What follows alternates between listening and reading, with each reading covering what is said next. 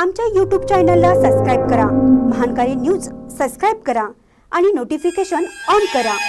Notification on केल्यामुळे आमचे update आपल्यापर्यंत सतत पोहोचेल. तारदार तंटामुक्त समितीच्या अध्यक्षपदी दत्तात्रय जाधव उपाध्यक्षपदी पत्रकार गजानन खोत यांची निवड.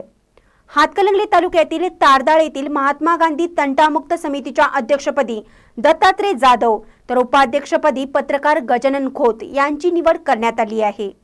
तारदाळ येथे महात्मा गांधी जयंतीनिमित्त गावसभेचं आयोजन करण्यात आलं होतं. या गावसभेमध्ये महात्मा गांधी तंटामुक्त समिती निवडीचा विषय ठेवण्यात आला होता. अध्यक्षपदासाठी ग्रामपंचायतकडून अर्ज मागवण्यात आले होते. गावामधून तंटामुक्त समितीच्या अध्यक्षपदासाठी बारा अर्ज दाखल झाले होते. गावसभेच्या अध्यक्षस्थानी अर्जाचे वाचन केले आणि बारा अर्जाद्वारापैकी फक्त दत्तात्रय जाधव यांनी वर्तवणुकीचा दाखला अर्जाबरोबर जोडल्याने एकच अर्ज वैध धरून दत्तात्रय जाधव यांची अध्यक्षपदी आणि उपाध्यक्षपदी गजानन खोत यांचा देखील एकमेव अर्ज असल्याने दोघांची निवड अध्यक्ष आणि तारदाळचे सरपंच यशवंत वाणी यांनी जाहीर केली. या निवडी जाहीर करताच गावसभेत मोठा गोंधळ उडाला. जिल्हा परिषद सदस्य प्रसाद खोबरे आणि त्यांच्या सहकाऱ्यांनी ही निवड बेकायदेशीर असल्याचं सांगून त्याचा निषेध करून गावसभेवर बहिष्कार टाकून ते निघून गेले. रमेश नर्मदे व संजय जाधव यांच्याकडे वर्तवणुकीचा दाखला असून देखील ग्रामपंचायतीने तो स्वीकारला नाही. हुकुमशाही पद्धतीने सत्ताधारी वागत असल्यानं निवड प्रक्रियेबद्दल वरिष्ठांकडे दाद मागितली जाईल असं सांगितलं व झालेल्या निवडीचा निषेध करून गावसभेवर बहिष्कार टाकला. महानकारी न्यूजसाठी तारदाळहून बसगोंटा कडेमणी.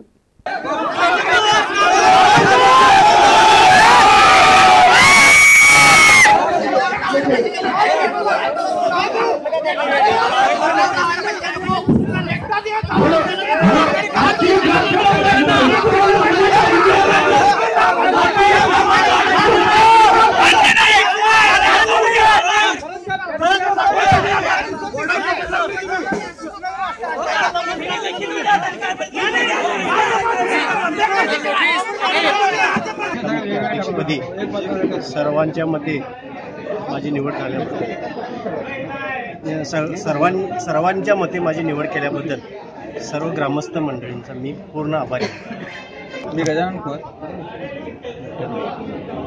या तंटामुक्तीच्या निवडीसाठी एकूण तेरा अर्ज आले होते.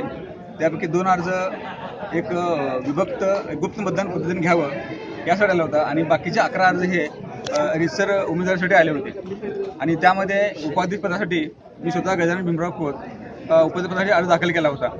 यामध्ये निवडणूक अधिकारी सरपंच यशवंत वाने यांनी सर्व अर्ज आलेले अर्जाची छाननी केला असता त्यामध्ये वैद्य अर्ज हा जाधव यांचा ठरल्याने बाकीचे बाराच्या बारा अर्ज त्यांच्याकडं नो हरकत दाखला नसल्यामुळे क्रिमिनल नो दाखला नसल्यामुळे त्या संबंधित अर्ज निवडण्यात आलं. आपल्यामध्ये तारदामध्ये होत असलेल्या महात्मा तंटामुक्त समितीच्या निवड निवड प्रक्रियेमध्ये निवड प्रक्रियेमध्ये अ, टोट एकूण बारा सदस्यांचा अर्ज आले होते.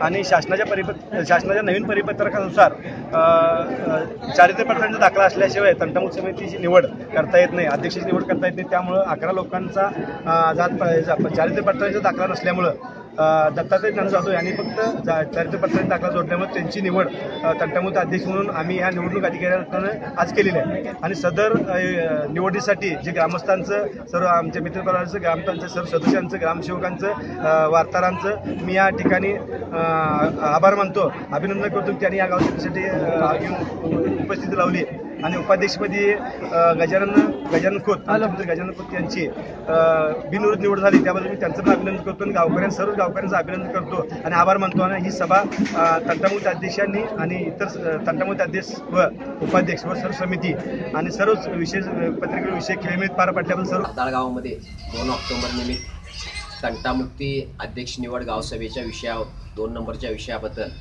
ज्यावेळी दोन नंबरचा विषय आला त्यावेळी याच्यापूर्वीचा जर दादाचा इतिहास बघितला तर अत्यंत शांततेनं याच्यापूर्वी निवडी झालेल्या आहेत. लोकशाही पद्धतीने निवडी झालेल्या आहेत. पण आता चुकीच्या माणसांच्या ग्रामसेवक आणि अध्यक्ष गावसभेचा यांनी चुकीचा निर्णय घेतला आणि आमच्याकडं दाखले असताना सुद्धा ते आमचे अर्ज दाख न जमा करून घेता आमचे अर्ज न जमा करून घेता आमचे अर्ज छाननीत उडवून एक वेगळ्या पद्धतीनं गावाला चुकीचं वळण लावायचं काम हे करत आहेत आणि हे आमच्याकडे दाखले हजर करून नियमाप्रमाणे छाननीच्या अगोदर त्यांनी विचारायचं असतं निवडणूक प्रक्रियेत.